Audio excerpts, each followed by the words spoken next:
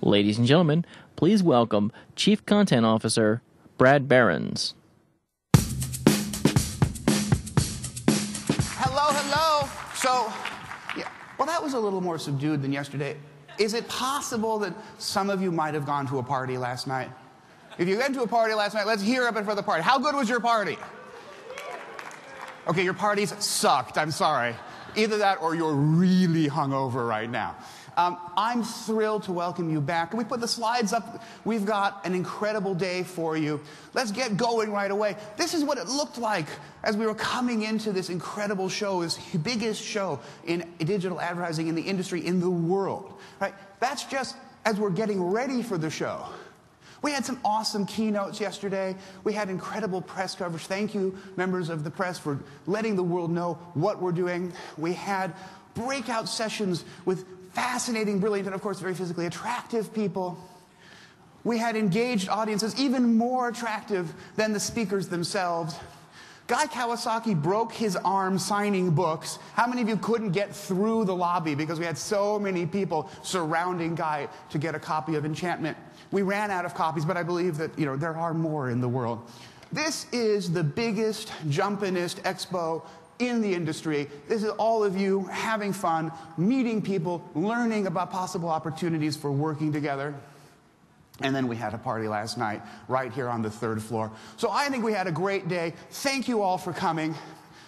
Right now, this is being live streamed on YouTube. We're grateful to our friends at YouTube. If, you, if you're a Twitter monster and you're busy saying that Brad is saying stupid things on stage, at least say one nice, not smart thing, which is that YouTube, you can see what's going on so your friends can tune in.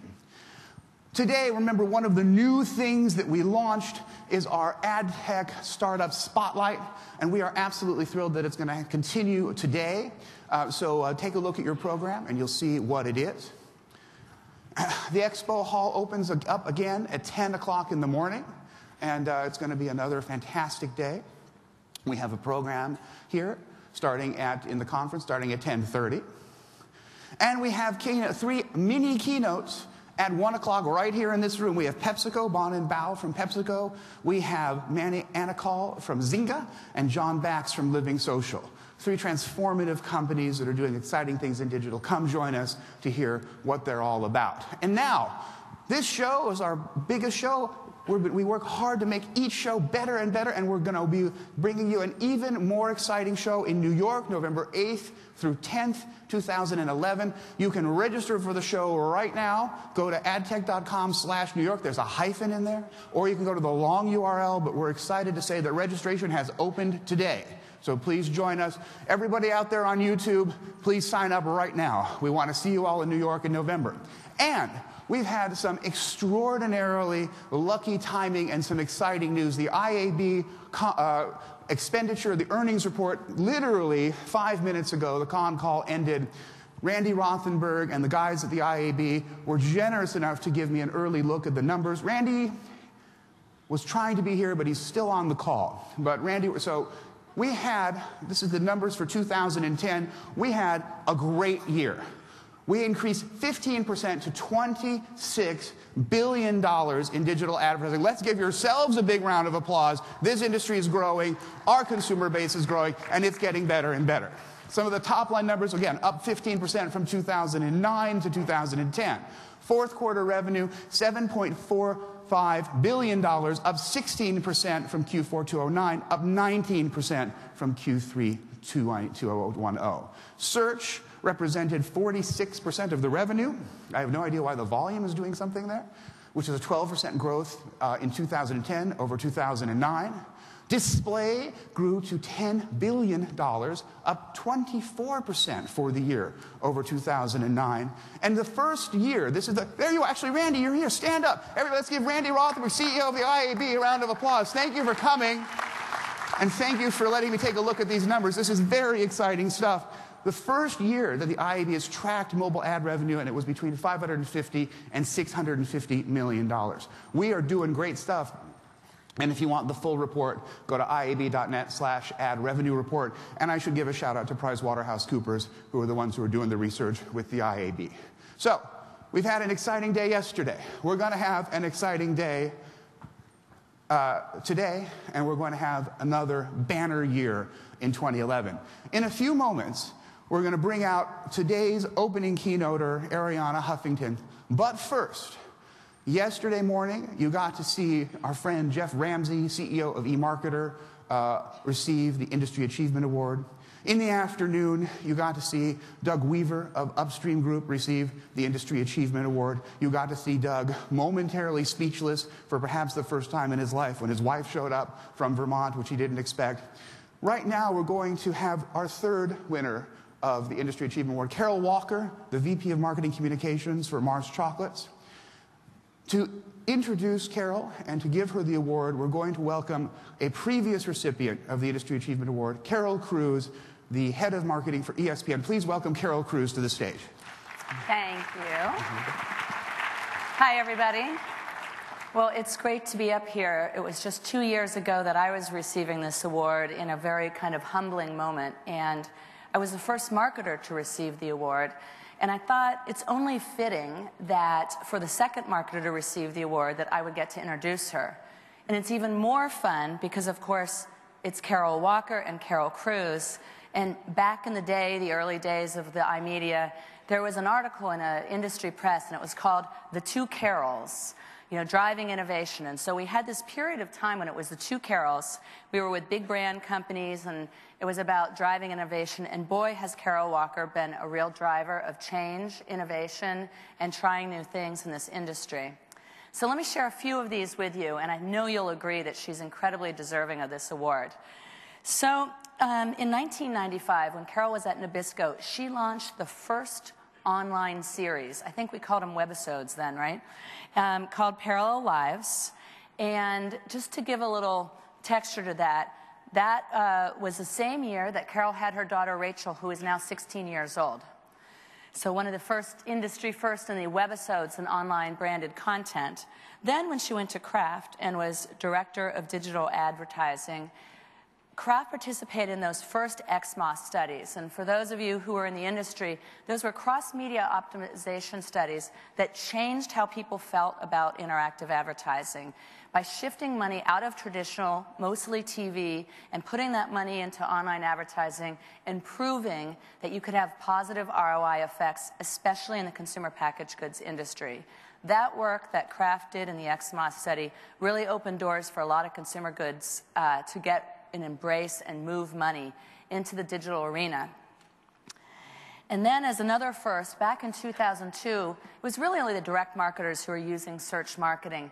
But Carol, with the kraftfoods.com website, invested heavily in search as one of the first brand companies. And in fact, the, the numbers show how it works so well. From 2002 to 2005, Kraft Foods went from the number seven to the number two recipe website, all with uh, the force of search marketing. And then, how many people remember what is um, either brilliant or perhaps crazy when Skittles got rid of their website and directed consumers to Wikipedia Skittles, to Twitter Skittles, to Facebook Skittles? Do you guys all remember that? That was so breakthrough. And some people thought, that Carol and Kraft were crazy to do that, and other people thought they were brilliant. And I would say that um, really put Skittles on the map and overnight received 5 million fans. So innovation, crazy, both, yes, but hugely successful. And I think that innovation gave all of us uh, permission to think outside that brand box. And then the recipients of this award are never ones to only focus on their day jobs. And I think what sets people apart in an industry achievement award is what you do outside of your job. What are you doing for the industry? And Carol leads the digital committee at the ANA and is a um, active, um, vocal member who's really pushing publishers and advertisers to collaborate more and to share best practices to move the industry forward. And so, with that combination of creativity, innovation, trying new things, and leadership in the industry, I am extremely proud to give the 2011 Industry Achievement Award to Carol Walker. Thank you. Congratulations. Thank you. Here you go. Oh, mine? Thank you. Thank you, Carol. So, yes, we were the Carols Carol from Coke and Carol from Kraft. And um, we're still Carol, but we're not from uh, Coca Cola or Kraft anymore. So, thank you very much. Um, thank you, AdTech. Thank you for uh, those that were behind uh, recognizing me, along with the most incredible um, other two uh, award winners. I'm in awe of uh, of both Doug Weaver, who I've worked with in the past, and Geoff Ramsey, whose newsletter I receive every day.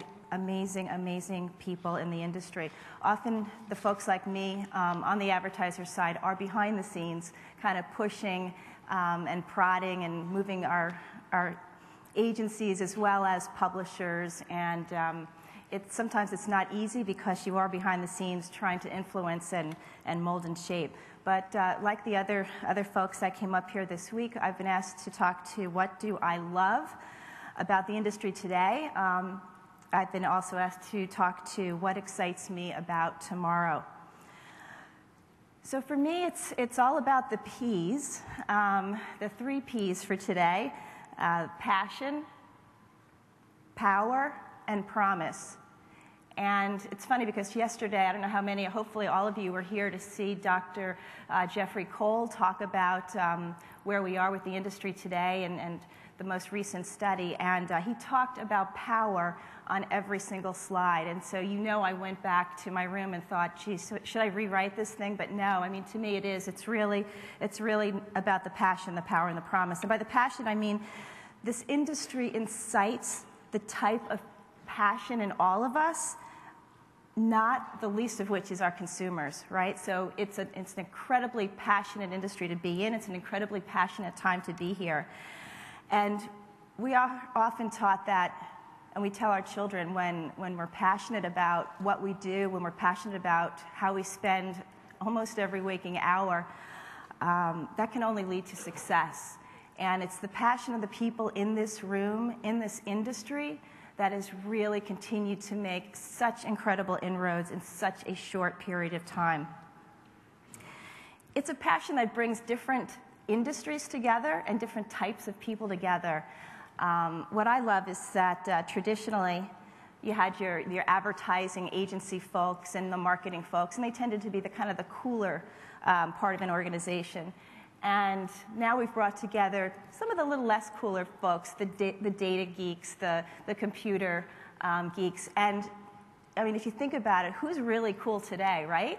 It's these guys. It's, it's the folks that are moving and changing the industry. It's you guys. You're the, you're the, the cool guys today.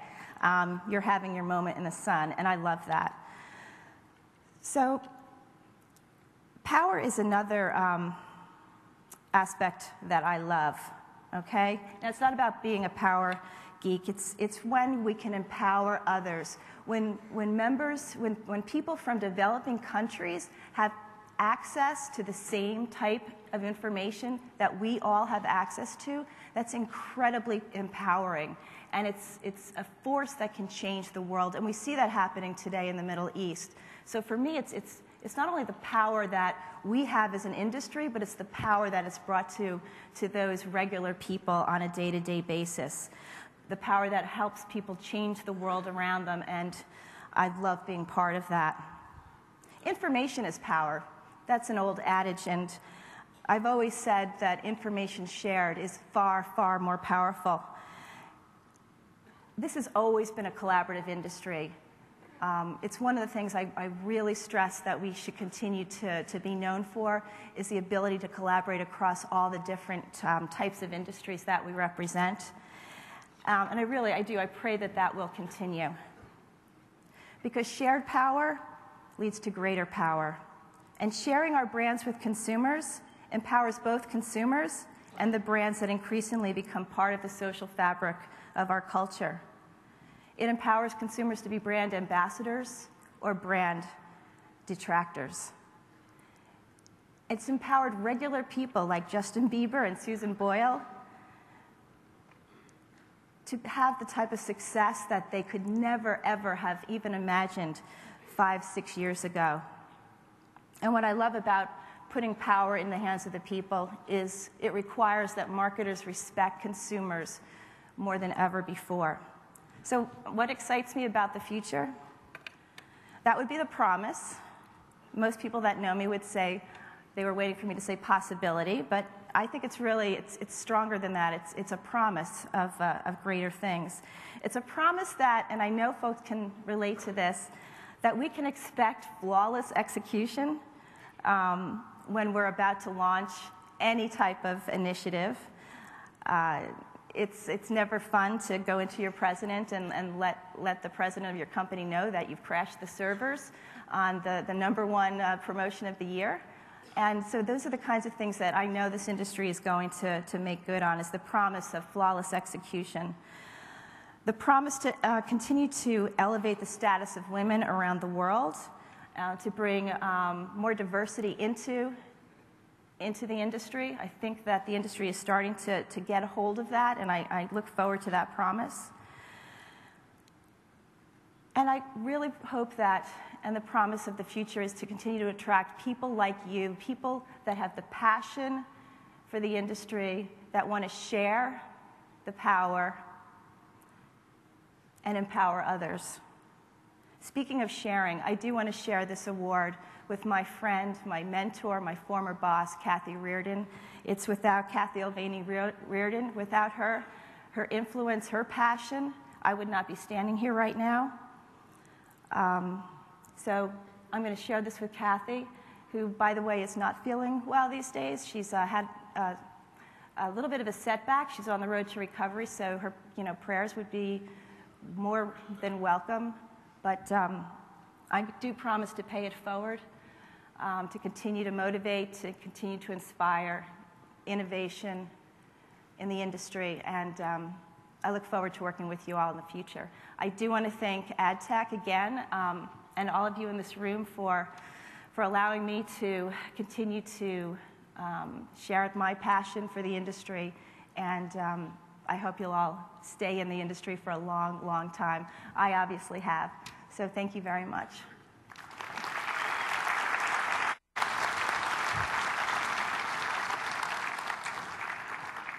Congratulations. Oh, thank you very much. So, oh, here we go. All right, that was wonderful. Um, so now we have uh, our, uh, our keynote speaker, and introducing her is really a challenge. And the reason it's a challenge is that to introduce someone, to describe someone, you have to categorize them.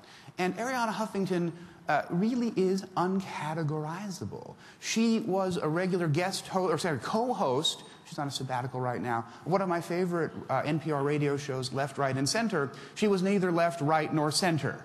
Uh, so, uh, and we have here with us today someone who's written 13 books on a myriad of topics. She actually will be doing a book signing immediately after uh, her keynote address.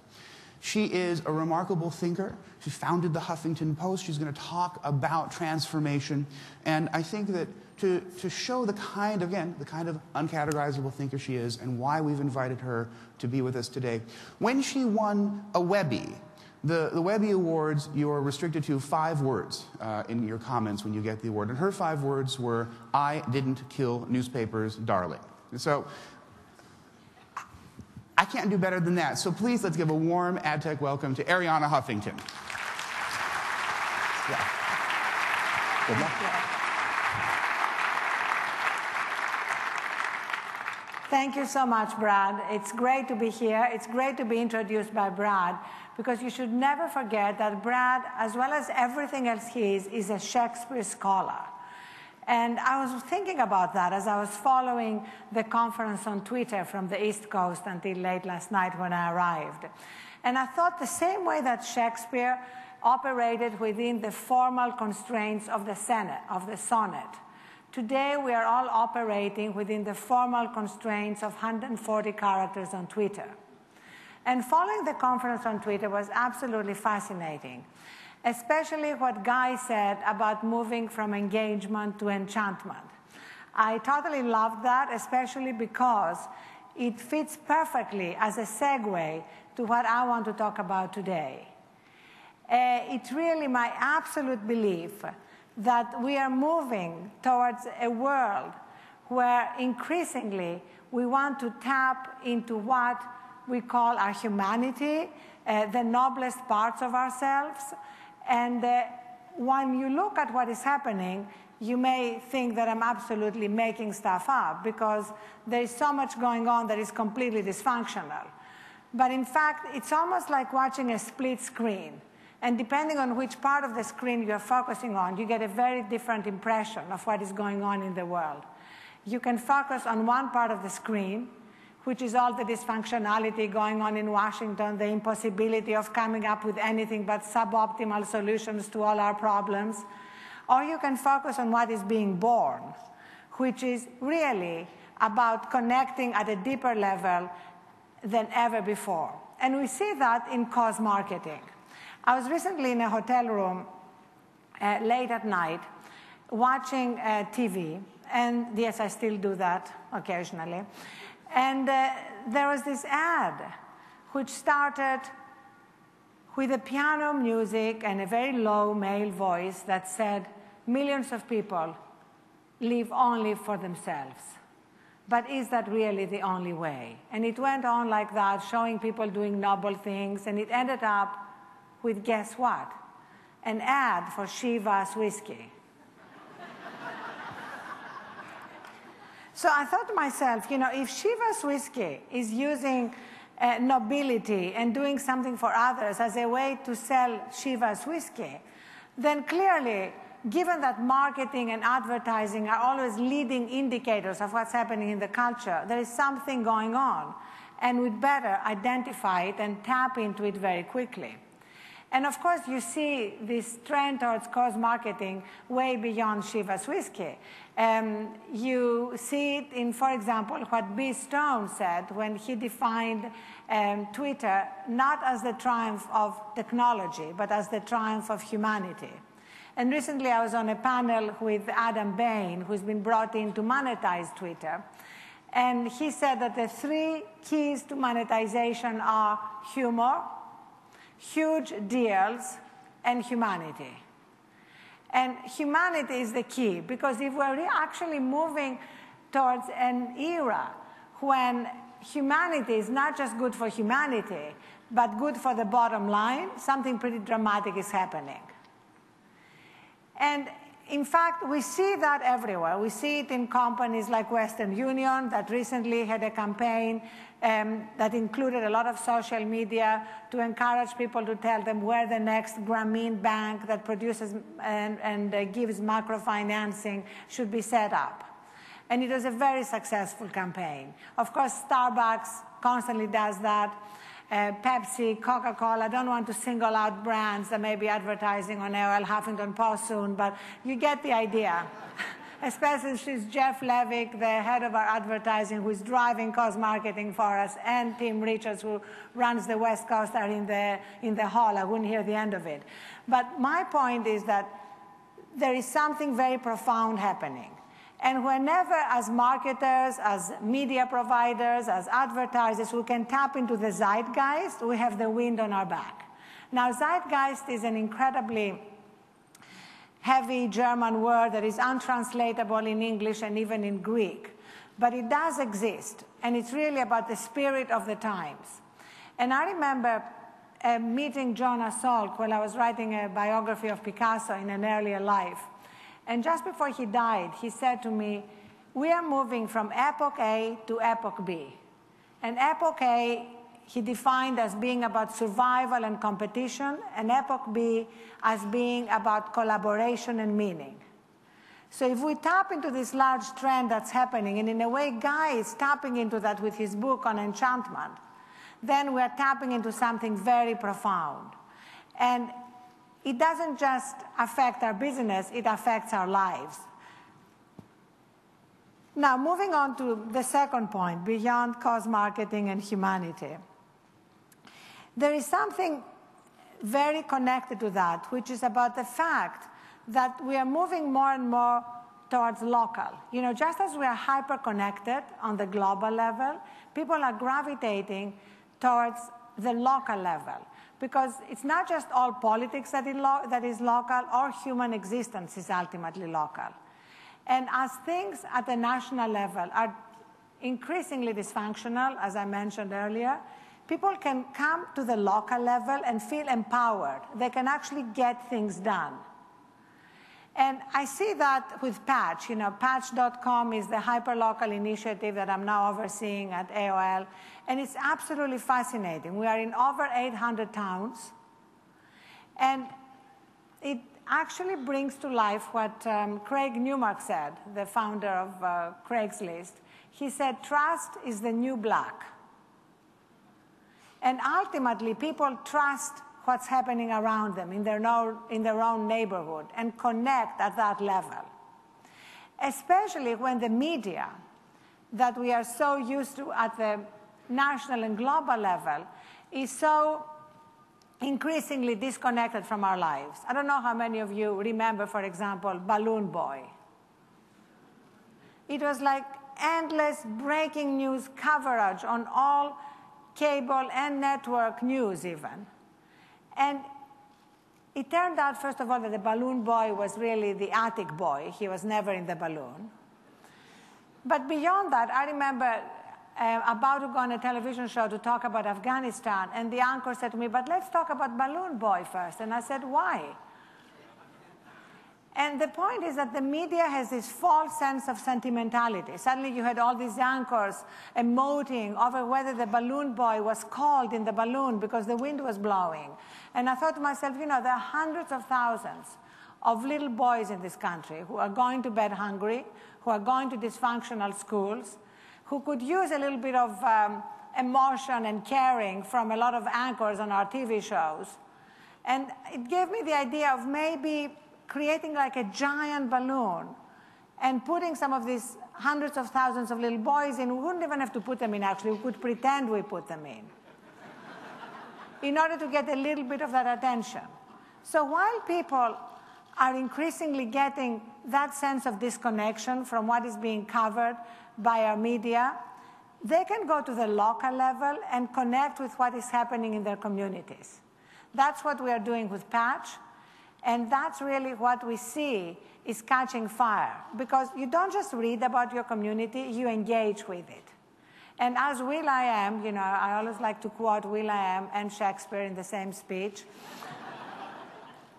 as Will I Am said, in the, in the olden days, like five years ago, we used to consume news sitting on a couch. Today, we consume news galloping on a horse. We don't just consume it, we share it, we pass it on, we add to it, we tweet it. And therefore, doing that at the local level keeps you really connected with your immediate community. And focusing on solutions, that's the other thing that mainstream media have let us down on. There's been so much emphasis on what is not working and very little emphasis on what is working. Uh, at the Huffington Post, um, we, we, launched a feature that we call the greatest person of the day. And it was a huge success. You know, every day we get thousands of submissions from around the country, around the world, and we put the spotlight on somebody who is doing good. Now, at the patch level, we're going to launch it as the greatest person of the week in every patch. And it's amazing how people gravitate to solutions when it comes to their own neighborhoods and to getting stuff done. So, as we're looking at that, of course, there is nothing new about wanting to fix the world and make the world better. I mean, it, it's an old, an old tendency in human nature. But what's happening today is that the digital reality makes it possible for us to do it obsessively the main distinction for me between mainstream media and online media ultimately as we are more converging towards, in our case, doing more and more original reporting, in the mainstream media's case, doing more and more stuff online. So the main difference is going to be that while mainstream media suffer from ADD, you know, attention deficit disorder, you know, they cover a story and then they abandon it, we suffer from OCD. We cover stories obsessively until there is an impact, until something happens. I mean, just look at our coverage of the foreclosure crisis. It's endless because the crisis has not ended.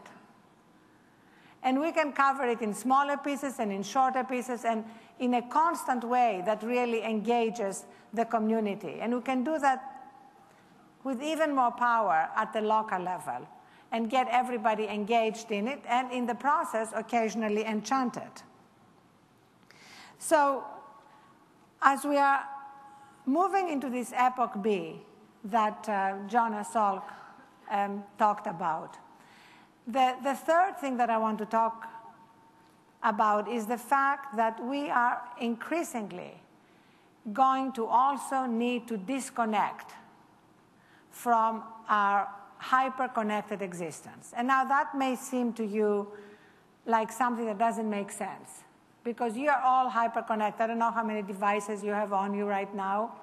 And um, I hope you're not looking at them at all while I'm speaking. uh, I remember the last time uh, my mother got angry with me before she died. She um, it was when I was looking at my email and talking to my daughters at the same time, and she looked at me and in her very, very heavy Greek accent. If you think, if you think I haven't, if you think I have a heavy Greek accent, you have not heard my mother. Um, she said to me, "I abhor multitasking." and I think the truth is that we are all constantly multitasking, and in the process, we are missing something. And we are all constantly hyper-connected. And in the process, we are missing something. And that's why I think the next big trend that I would want us to bet on here, and those of you who are brilliant at inventing things and new apps and new devices, that's what I would urge you to, to invent next. And I, I give you my patent rights right now in front of everybody. And this is a kind of thing that I would call a GPS for the soul. An app a device, whatever it can be, that actually shows us how aligned or misaligned we are in our bodies, our minds, and our souls at every moment, and also shows us what we can do to realign ourselves. And I would start with something very simple. I would start with an obsessive emphasis, as we are going to be doing increasingly in our coverage around these issues, on sleep. It may seem very small to you, very irrelevant. You say she's talking about something trivial like sleep, but in fact, the medical evidence is overwhelming that it's essential for our health, for our creativity, for everything you can imagine. And we women will kind of lead the way in this because you guys have kind of defined and equated sleep deprivation with virility. I don't know why, but I recently had a dinner with a guy who said to me and bragged about it that, you know what, he said, I just had four hours sleep last night. And I thought to myself, I didn't say it, but I thought to myself, you know what, if you had had five hours sleep, this dinner would have been a lot more interesting.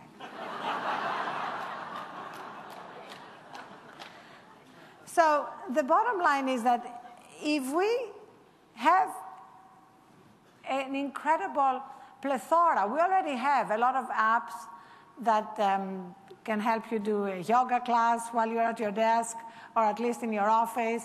Uh, we already have a lot of apps that have guided meditations or remind you to take some time off during the day. So these things already exist. But imagine if we created a killer app for optimal living.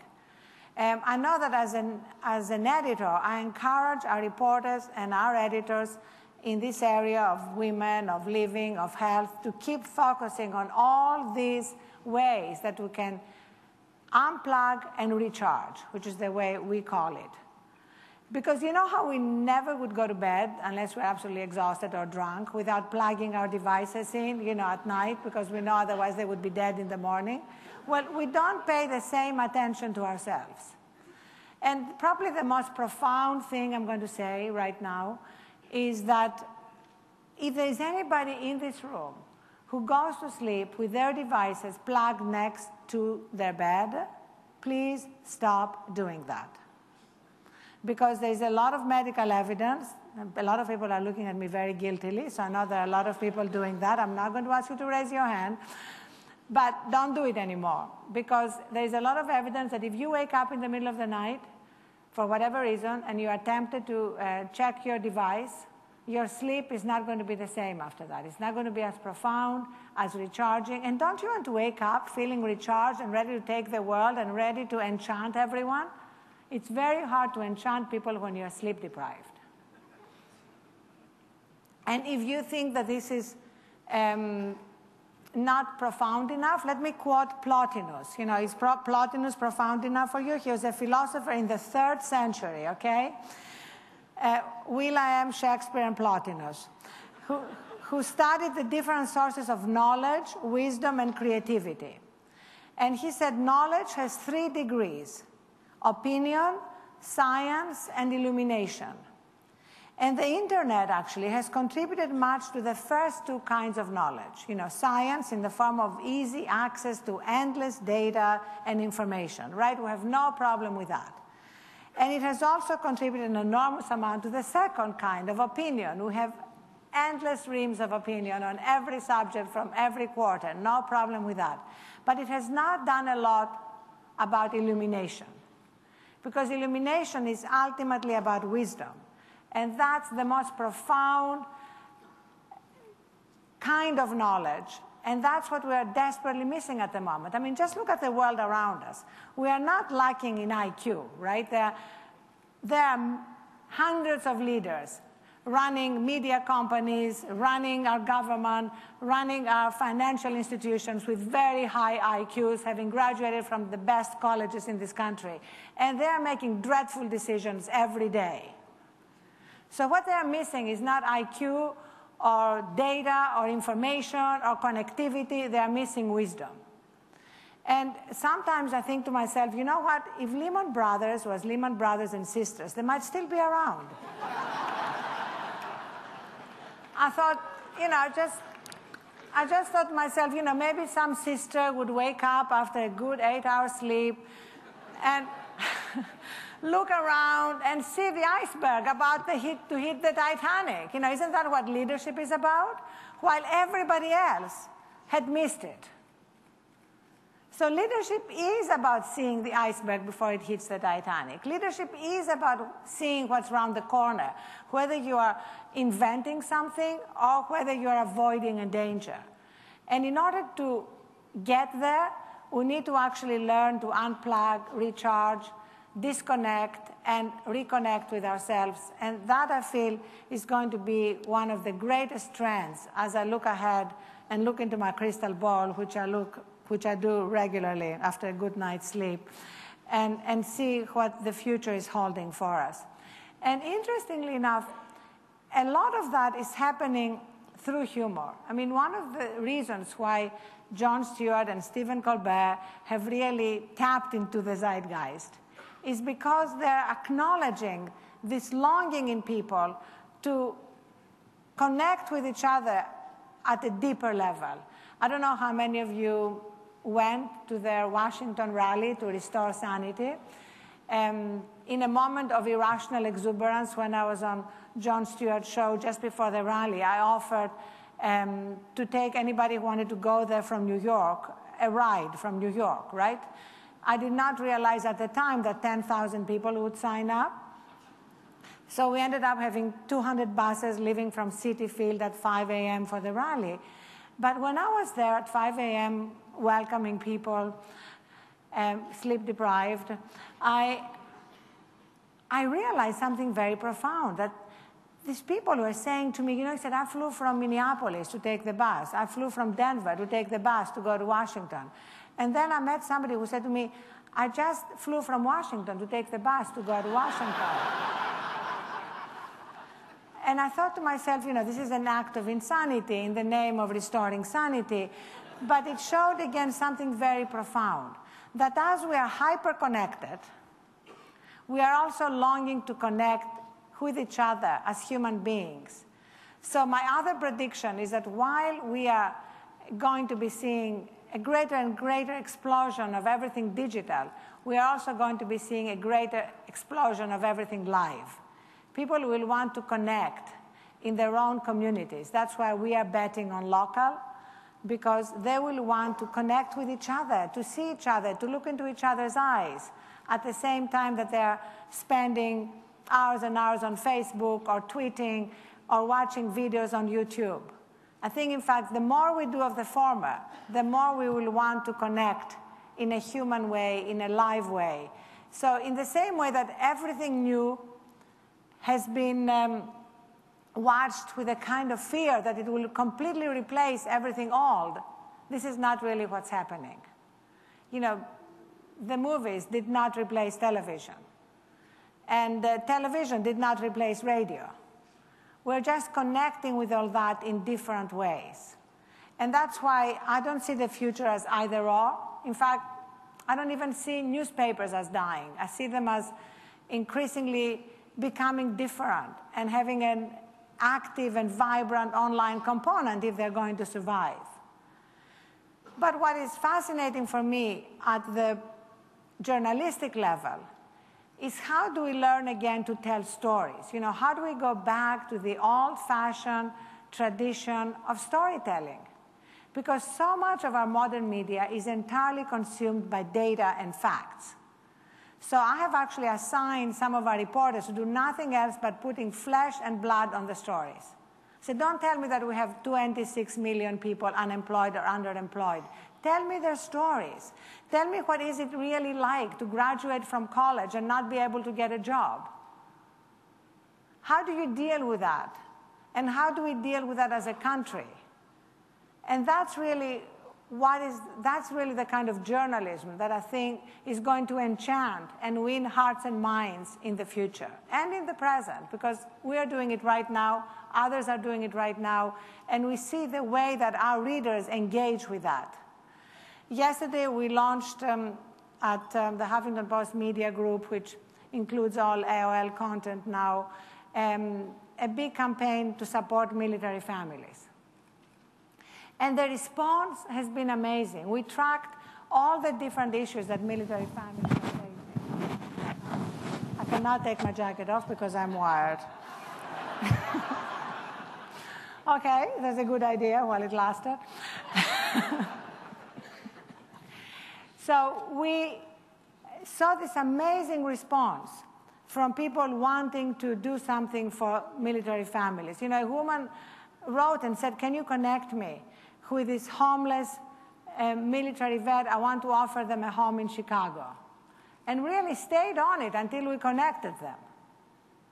And again, in our section called Impact, which is a section we created dedicated to people reading the news and then taking action to help people or causes that they read about, the most significant shift is that news is now actionable. You know, you used to read something or watch something on TV, and maybe your heart would be touched, and then you'd go and make a cup of tea and forget about it.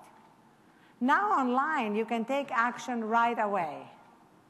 And that's why we have these widgets everywhere that encourage people to take action right away and to be able to do something with their, when their hearts are being touched and activated.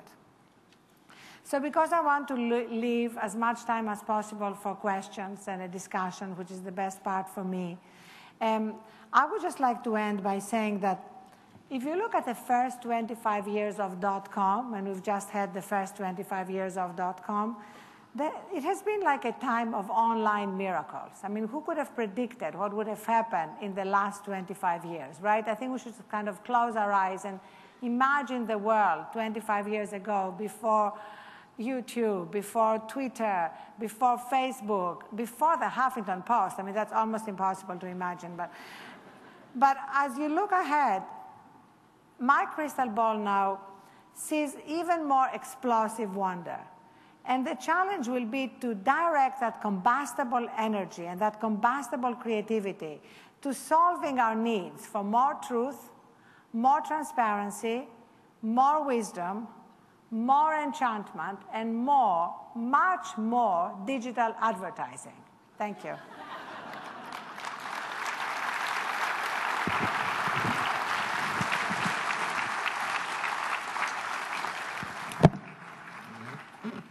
So, Brent, I'm right here? I think, you know, you can hear me like that from this mic, right? Yeah, you can okay, go from, so I can you should be fine. Off, yeah. So let's pull up the house lights and see if we've got a couple of questions. We've got microphones here, here, and here. You can, you, you can stay there. You can walk with me. It's up to you.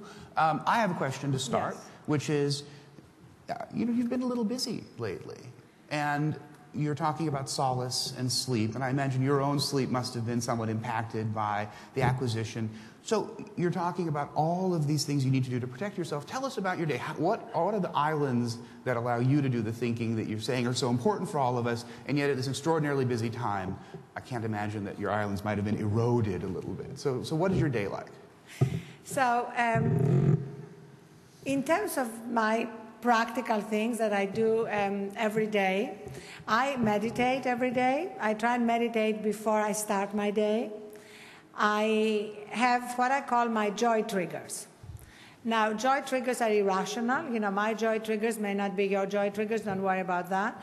Like, my joy triggers involve pictures of my children who are now in college. They're 21 and 19, but I have pictures of them when they were babies and much less problematic. and I have them everywhere, and they're a complete joy trigger.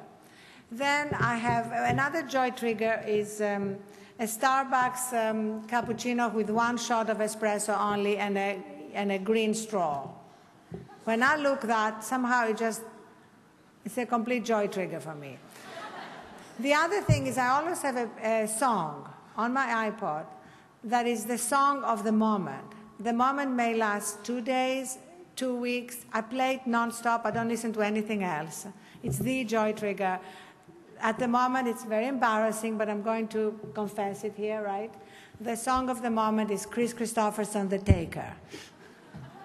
I'm sorry. It could have been Mozart, the Zauberflöte or something, but it's not. I thought it was going to be will.i.am. I Am. I love will.i.am too, but it's just, it, there's no reason, there's no rhyme or reason why. But so at any moment during the day, you can tap into your joy trigger, or tap into your killer app, whatever it is for you, meditation, yoga, whatever, and, and basically course correct. You know, I was talking to a friend of mine who's a pilot, and he said to me that most of the time planes fly off course. Did you know that? You may be worried now, but the, the only reason there aren't any more plane crashes is because they have such a fantastic course correcting mechanism. So a lot of the time we are off course. We make mistakes constantly. Instead of judging ourselves, we need to have a fantastic course correcting mechanism. Life is all about correcting your mistakes quickly. We started, we launched a new section on the Huffington Post just before the merger uh, on divorce. And um, one of the features of the, of the section was something that we called the moment we knew. And it became hugely viral we had people just who would say, the moment I knew, basically, that this was over, or the, minute, the moment I knew she was having an affair, or the moment I knew, whatever. It was just incredible. And incidentally, the idea of the divorce section was Nora Ephron, who's an editor at large with us, and she said, we must launch a section on divorce because she said, marriage comes and goes, but divorce is forever. and that became our tagline. So, I mean, basically, humor and joy triggers and something that provides course correcting are my keys to um, be able to do my life at a more intense level uh, since the, the integration has definitely uh, meant um, just a lot of work, a lot of uh, time spent bringing together two companies. It's, it's worked kind of amazingly, given that normally um, integrations are really hard. I think part of it has been because you know our CEO Tim Armstrong was determined that we would do it really fast. So when the facilities people said to him, "We can move everybody in the same office by the end of May," he said, "Pretend you are having a party." Not an integration of two companies. Prefer, pretend your daughter is getting married. You have to do it by the end of March. And we did. And um, the day that the merger became legal, we also launched um, a 30-day volunteer effort for all the employees. And every office around the world that completed 100% participation would get Greek cookies and champagne, and Boston was first. So again, as a company, one of the things that has been so amazing for me about this merger is that our goals are so aligned. That what Tim wanted to do for AOL and what I wanted to do for the Huffington Post in terms of bringing us together and actually living all the things we are talking about, living our commitment to doing something good while at the same time doing well for the bottom line and for the company need to permeate everything. And that's why we brought Biz Stone as our strategic advisor for social impact to work with him in identifying all the ways that we as a company can actually practice that and at the same time put a spotlight on what other companies are doing around the world um, that have to do with corporate responsibility and have to do with doing well by doing good. All right. We have a question. Tell us who you are. Hi, Arianna. My name is Christian Grant from uh, Executive Talks. Um, you're not always politically correct, and sometimes you say things that um, people in Washington or journal journalists normally don't say. Where do you get all that courage from to say what you really feel? Well, I remember uh, when I was growing up in Greece and I uh, studying, studying uh, Socrates. My God, I, I, don't normally quote so many dead wise people, but um, Socrates said that um, courage is the knowledge of what is not to be feared. Most of the time, we are afraid of our own shadows. Most of the time, we're afraid of things that do not deserve to be afraid of. And I think that's really, for me, the most important thing. You know, I wrote a book called uh, On Becoming Fearless. And that's not really about being fearless in the sense of not being genuinely afraid, but it means not letting our fears get in the way of us doing or saying what we want to do including taking risks. I mean, those of you working in this digital sphere, take risks all the time because we're kind of reinventing the world all the time, and there are never any guarantees. I remember when we launched the Huffington Post, you know, the overwhelming assumption was that it would be a complete failure. Indeed, Nikki Finke wrote about it on the first day. She called it the movie, I've, I've learned the, the review by heart. She said the Huffington Post is the movie equivalent of Gigli, Heaven's Gate, and some other dreadful movie, all rolled into one. And then she said, This failure is simply unsurvivable. So you have to be willing to not let um, reviews like that or uh, naysayers get in the way of what you want to do. And as I tell my daughters endlessly, uh, you have to also be willing to fail along the way. Um, I constantly talk to them about my failures. I constantly say to them, for example, my second book was rejected by 36 publishers. You know, at some point, maybe at rejection number 25, I might have said, you know what? This is really the wrong job for me. I should do something else. So that's when you really, if you believe in something, perseverance is for me the key between failure and success. And, and also is the key to um, not being afraid uh, about what people say about you, or how people perceive you, because that's really the, the road to inaction. We have a question over here. Please tell us who you are. Sure. Hi, Arianna. I'm Mike Boland. I'm an analyst with BIA Kelsey and a writer, and I'm actually one of your bloggers for HuffPost, so thank you for that. So people often ask me along those lines, you know, do you get paid for that? And my answer is no, but, you know, exposure to 40 million uniques or, you know, some, something like that, um, which is better than a paycheck. So that's usually my answer to that question. I'm wondering what your answer is to some of the criticism that, you know, in not my words, but in the words of the criticizers, you are kind of exploiting some of these voices. Um, and, you know, what's your answer to that? And then also, how does that feed into your general strategy in terms of building an editorial product around many different breadth, a breadth of voices from industry? Well, actually, I'm so glad you, you brought that up because uh, for me, blogging, which has been a very important part of the Huffington Post from day one and will continue to be. In fact, we are migrating the blogging platform of the Huffington Post on all AOL sites and on all patches. You know, all 800 towns will now have a blogging platform, which I think will increase engagement dramatically because you'll be able to have anybody from the mayor to the kid that's participating in a high school game be able to blog, to upload pictures. Um, video, whatever, and the commenting platform, which goes along with blogging. And last month alone, we had 4 million comments. So we're migrating all that. That is like in its own bucket. That's really what the internet is about. That's what people do all the time, whether it's on Facebook, on their own blogs, on collective blogs, on Yelp, um, on Google, on any form of social media, people are blogging, and they're blogging because they want more and more people to be exposed to their ideas, their opinions, their books, their movies, either because they are selling something or because they believe in something that they want to share with others. And that's the brave new world. And there are no commitments. Like, if, I'm delighted you blogged for us, but if, say, you decided not to blog, nobody would bug you. And there are no deadlines. And then there is the other world of journalism. And we have hundreds of paid, with full benefits, etc., reporters and writers and editors. Uh, who are in a way, as Jason Linkins, our media editor, wrote in a piece, providing the architecture and building it, if you want, building the field into which bloggers can come and have it all ready for them. The great technology, the great pre-moderation technology also, which means that when you blog, if somebody wants to attack you, um, and use sort of vile language or ad hominem attacks, we're not going to let the comment through. So there will be also a similar environment in which the conversation can take place. But all that could not happen without all the paid people creating that architecture. So there's two very different worlds. Aggregation is a third bucket.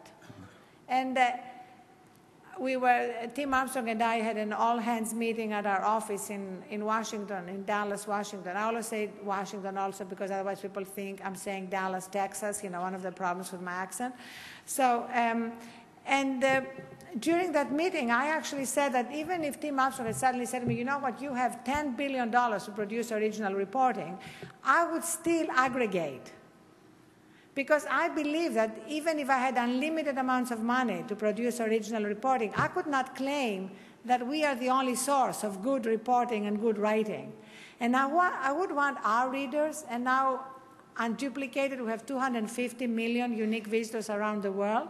I would like them to come to us and know that they're going to have access to the best writing, the best news, the best information, the best services around the world, either that we produced or that we curated for you.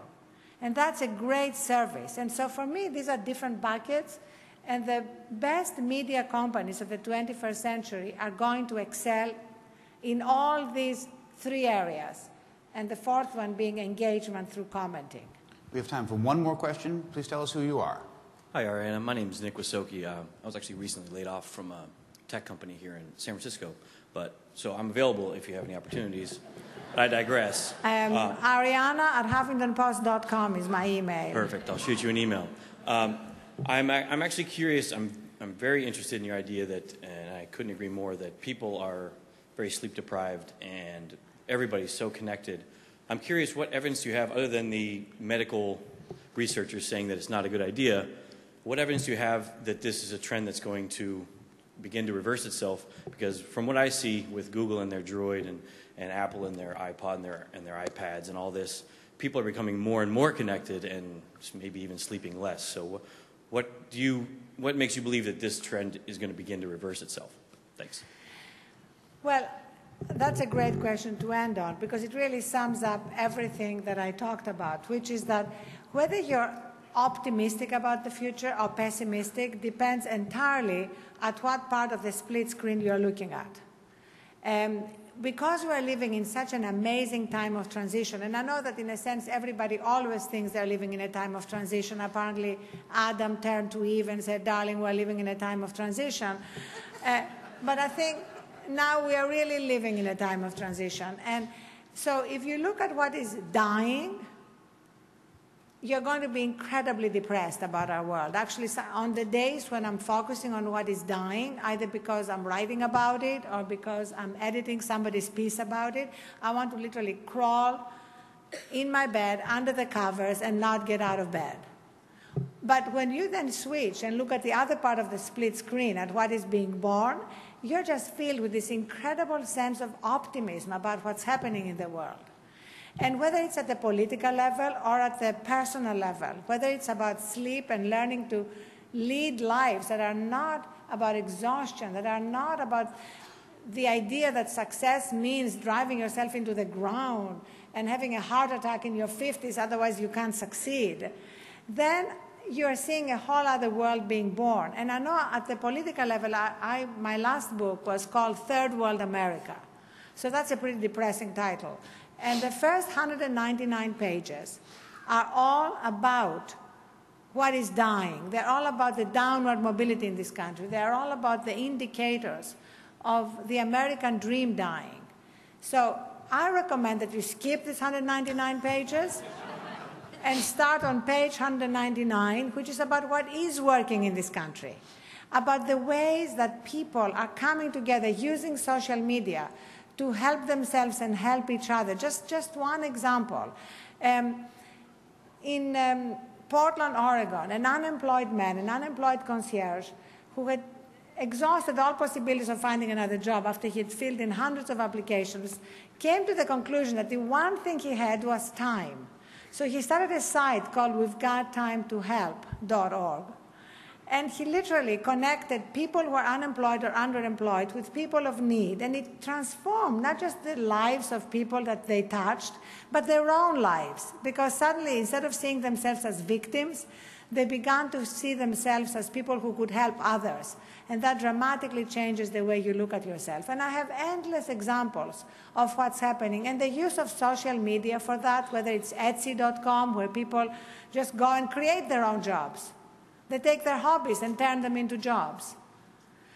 Or any number of sites. I mean, I've spent so much time on sites like recessionwire.com, on howigotlayoff.com, and you're not depressed at the end of it because you're like stunned by the explosion of compassion, creativity, and ingenuity that human beings are capable of, and that now the new technologies make it possible for us to connect with each other and to make it easier to get to a, a tipping point where that part of the split screen begins to take over the other part of the split screen. So maybe it's because I'm Greek, and a naturalized American, but I am a congenital optimist. You know, after all, Zorba the Greek is a cultural hero, and, um, and America is a congenitally optimistic nation. So I do believe that if we use the incredible miracles of technology to make it even easier to tap into our own humanity, we will be able to transform the world in all the ways that we're all dreaming of. Thank you so much. What a wonderful way to end. Thank you, Arianna Huffington.